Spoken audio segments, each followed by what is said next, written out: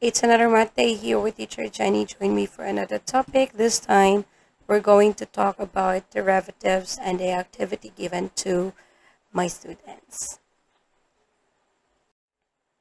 First one is f of x equal to 3 4.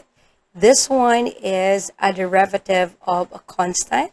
So our derivative for this is f prime of x. This is our symbol. You may use different symbol for that one that would simply mean the same thing as long as it denotes that that is the derivative.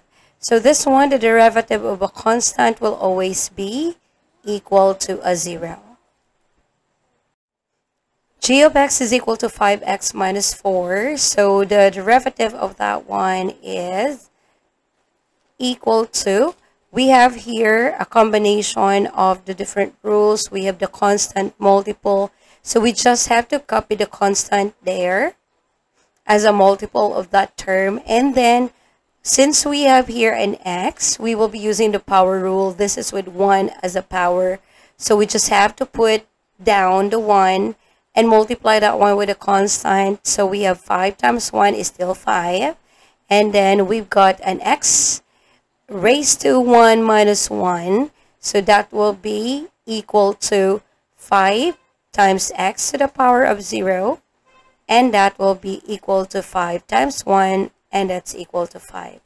Now the derivative of 4, that's a constant, so that's a 0. So we always have to tend to disregard the constant or cancel out the constant because that will give off a derivative which is equivalent to a 0. We have the derivative of this. We've got 2x squared minus 3x plus 5. The derivative of that one is, we are going to assume, assume this one that this is a combination of the product and the difference rule with the different rules as well, the power rule and the constant multiple. So we have to do the, the derivative or the differentiation term by term. So we'll start with 2x squared here so there is a multiple, so we just have to copy the number 2. Then we put down our, our power, which is 2. And then multiply that one with a constant. Copy the variable. We have 2 as an exponent. We subtract that one by 1. That is the rule on the power rule, wherein you just have to uh, put down the exponent and then subtract the exponent with 1. And then we have here minus, we have 3x. That's a combination of a multiple, a constant multiple and a power rule. So we have constant multiple here, copy, and then x is with an exponent, which is 1. So bring it down and multiply that one with a constant. So 3 times 1. So let me just write it. And then we've got x to the power of 1 minus 1. And then we have the constant here that gives off a derivative which is equivalent to a 0. So we don't need to write anything. This will be now 2 times 2 which is 4. x to the power of 2 minus 1 is 1. Minus 3 times 1 is 3. x to the power of 1 minus 1, you've got there an x to the power of 0. Automatic, that is equivalent to 1. So we have times 1 in here. And then we simplify this as now 4x minus 3. That is our h prime x or the derivative of our h of x. Next one, we have the j of x equal to 2 square root of x minus 3 cube root of x plus 4 fourth root of x minus 32. So since we have radical uh, expressions here, all we have to do is to rewrite that one into an exponential form. So we have this as 2 to the power of. Take note, once you have a radical expression, to rewrite that one into fractional uh, exponent, take note once, once you have radical expression, the radical expression is formed out from a fractional exponent. So let's say we've got m here as the index, mth root of um, x to the power of n perhaps. And then converting that one to fractional exponent, that will be now equal to x to the power of, we have our exponent form, form or part, we have here a fractional form wherein the exponent inside or the exponent of the radicand will be at the numerator part and then our denominator will be the index part. So we have x to the power and m. So we will be transforming that one in that format so that we can get the derivative of that. So let's now uh, rewrite that into a fractional exponent. So we'll start with this one. Now remember we don't have any visible index here or the number here. This is gonna be with a 2. That's a standard index whenever you don't see any number at all on the index part because the smallest index is 2. So we have to rewrite that as x to the power of a fractional exponent our x here has an exponent which is 1. So we have at the numerator part of the fractional exponent is a 1. And then our denominator there is the 2 which is the index. You may have it in a, in a parenthesis or not. Sorry on that. And then we have a minus 3. And then we have here another x. And then we have a fractional exponent for that. This is with 1 as an exponent, so we have 1 at the numerator part. Denominator is the index, so this one is the index. And then we have plus 4. Then we have another radical expression, so we've got x with a fractional exponent. This is 1 here. So 1 will be at the numerator. Index is 4. That will be the denominator part. And then minus 32. So we're now ready to get our um, derivative for that one. So the derivative of your g of x, that will be equal to 2. That's a constant multiple. We bring down our fractional exponent, so that's 1 half. And then we copy x. So we have here 1 half minus 1. We always have to subtract the exponent with 1. And then minus 3. And then we've got the exponent, bring it down. So we have times 1 third. And then we have an x to the power of 1 third minus 1. And then we have plus 4. Then we bring down the exponent times 1 fourth. And then we've got an x. And then to the power of 1 fourth minus 1. So this minus 32 is nothing anymore because the derivative of a constant is a zero. So let's now simplify that one. Now, if you're in trouble with um, subtracting fractions, especially if you've got fractional exponents, so you may do this one. So I'll be, you may omit this line if you want to once you try to do the derivative of that. So let me just simplify this. So 2 times 1 half, that is 2 over 2 or that's equal to 1. So we don't need to write anything.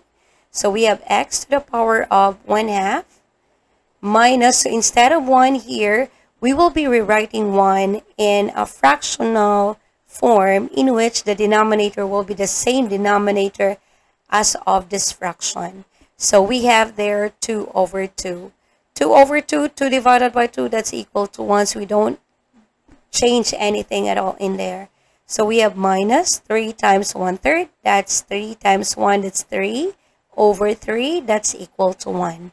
So we have x to the power of 1 third minus our 1 there, transforming that to fraction. That will be 3 over 3 because we have the denominator which is 3 here. And then plus 4 times 1 fourth, that's 4 fourth, that's equal to 1. So we have x to the power of 1 fourth minus 1. So instead of 1, that should be 4 over 4. Simplifying that one, this is now equal to x to the power of um, 1 half minus 2 over 2. That will be 1 minus 2. That's negative 1 over 2 minus x. 1 minus 3, that's negative 2. And then we copy the common denominator 3. And then plus x 1 minus 4, that's negative 3. Copy the common denominator 4. And then since all of the uh, exponents there are negative, so we will be converting that one into positive. So this will now be equal to 1 over x to the power of positive 1 half. Now take note, once you have a negative exponent, you can get the reciprocal of that entire thing. And then your exponent there, because we're changing position, here we have our numerator part with an x to the power of negative 1 half. Once we change the position, our exponent will change its sign. So that's why we get the reciprocal of that one so that we can have a positive exponent. And then we have a minus and then 1 over x to the power 2 thirds and then plus 1 over x to the power of positive 3 fourths. Now, again, we in our final answer, it's a no-no for us to have a negative exponent and a fractional exponent. So we convert this one into a radical, ex radical expression. So we have 1 over x to the power 1 half. Take note of this format here. We now go for a radical form. So we have this 2 here as a denominator. So that means we have a square root for that. And then x. The power of that one is 1. So we don't need to copy that. And then minus 1 over uh, the cube root because we've got 3 as a denominator here. So cube root of x. Our power here is 2 because our numerator is 2. So the exponent of x here is 2. And then plus 1 over, we've got the fourth root this time because our denominator is 4 of x to the power of 3 because our numerator is 3.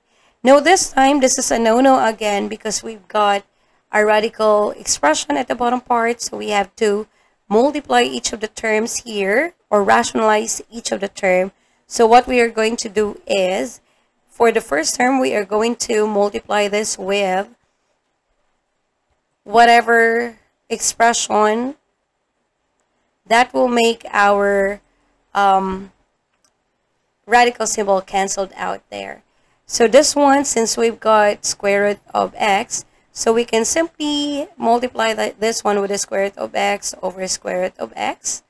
Because once we try to multiply square root of x and square root of x, this will give off a square root of x squared. And that will be canceling our uh, square root symbol there. So on the second term as well, we are going to multiply this with cube root of x over cube root of x. Because we have squared already here on x so adding that one with one on the exponent of your x here that makes it x cubed. So we'll be literally canceling the cube root in there later on. And then this one here we've got fourth root of since we have cube here so we only have an x to the power of 1 here. So fourth root and then we have an x to the power of 1 because this is already cube and then we've got fourth root here as the, or 4 as the index. So we only need one of that one. So simplifying this one further, let me just have that one here. So simplifying that one, this will be now square root of x over x and then minus cube root of x over an x and then plus the fourth root of x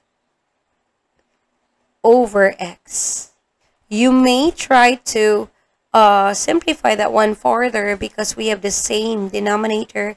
So that will become now. So we just collect all the numerators there. So cube square root of x minus the cube root of x plus the fourth root of x. So I think this one is the final answer for that one. This one is our j prime of x, or that is simply our derivative of the function j of x. So I'll be uh, posting on the second part of this one, so please do wait for that one. And again, good luck on every challenges that you are facing everything will pass through. It's a matter of time.